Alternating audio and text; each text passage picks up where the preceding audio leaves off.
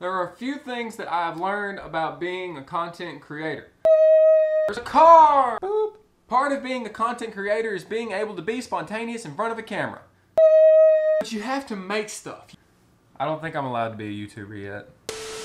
The following video is most obviously an absolute and utter train wreck. It's not to, meant to be good, it's meant to be momentum for me to start making something, so I will make more things more frequently in the future. I'm getting a ball rolling. If you find it useful, that's phenomenal. I hope you do. If you want to be a content creator, you have to create content every day. Even if it's just a TikTok, an Instagram, a Facebook, whatever it is, you have to do something every single day or you are not going to be as good at it as you could be. You you just got to okay? And I've learned, I'm learning that the hard way. I don't make stuff every single day, or I didn't, I do now. And this is part of it, you have to make content. Some people get on YouTube and they say, I wanna get rich and I wanna get famous and I'm gonna have all of this money. You're not gonna have all this money if you don't make content, okay? The only way that people on YouTube get big is by making a bunch of content, polarizing content that shows, hey, I teach this stuff, or I'm all about this kind of stuff and you stick to that and make a bunch of it. So when people have questions, you are the authority on that name. You have to have the influence. And the only way you get the influence is by creating a bunch of content every day. You have to use that part of your brain.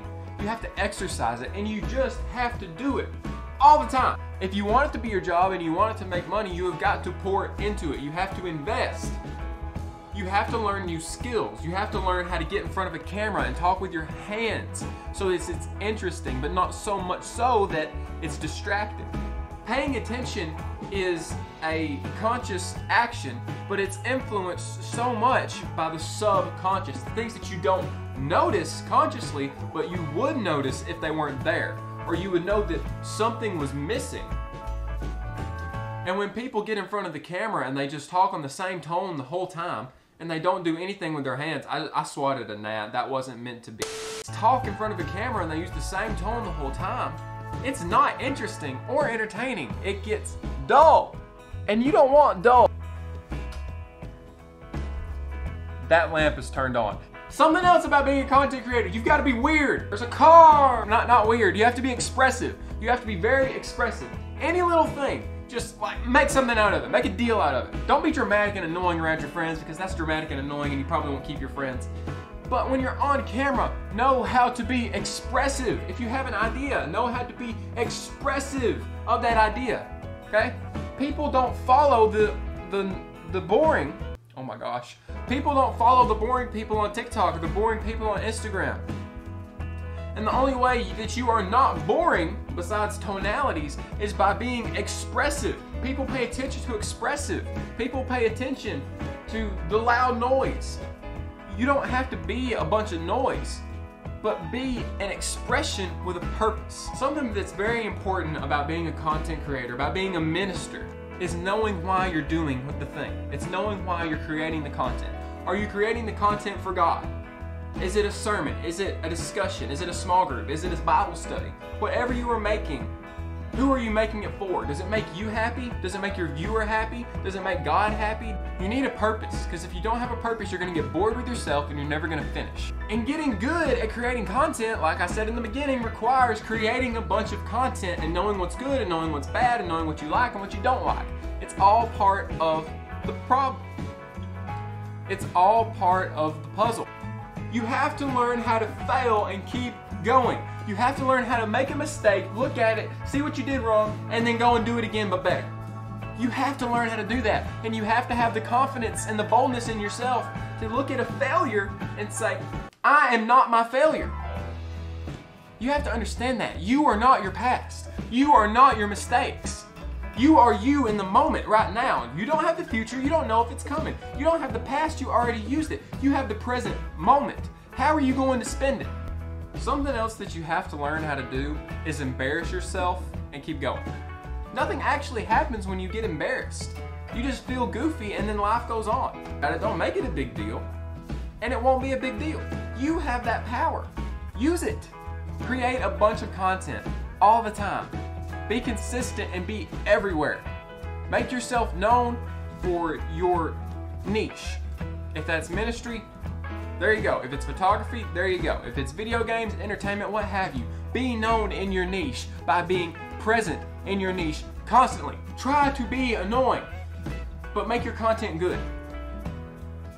I love getting off topic. I'm starting to sweat. I have a sunburn. It's not good, okay? I'm not shy about it, but I will tell you make a bunch of content. Be confident in your content. Be interesting. Have passion with a purpose. Just make stuff. Just make stuff. Okay? All you got to do is just make stuff and you'll get good at it. You'll find what you like, you'll find what you love as you taste all the little different things. I'm just talking nonsense into a camera.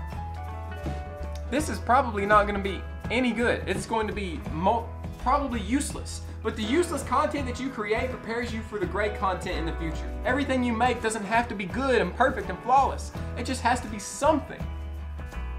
You just have to make something and do it consistently and don't stop. Thank you, Gary Vee.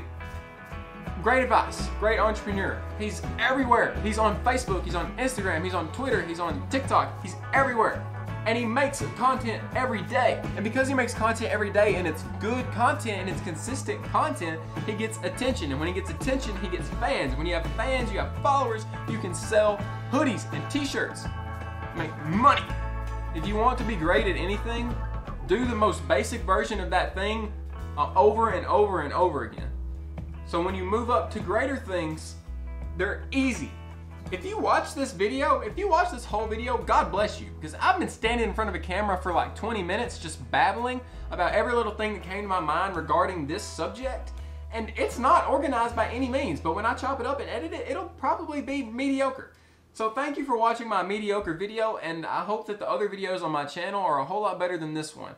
And I hope that the little informations and the sprinkles that I put throughout here that I've learned in just a short period of time are useful to you.